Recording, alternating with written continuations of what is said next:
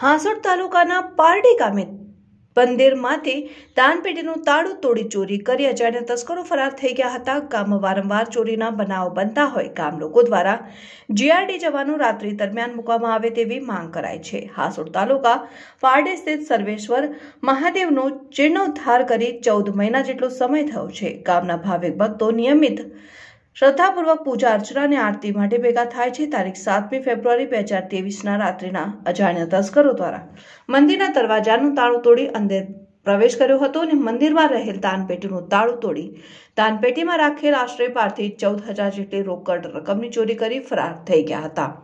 આ બાબતે પારડી ગામના કિરીટ પટેલે ગામના આગેવાનો ઉમેદ પટેલ, ભાવેશ પટેલ અને મેહુલ પટેલની સાથે રાખી ફરિયાદ નોંધાવી હતી અને વારંવાર હાંસોડ તાલુકામાં ચોરી થતી હોય, જીઆરડીના જવાનો રાત્રિ દરમિયાન મૂકવામાં આવે તેવી માંગ કરાઈ છે.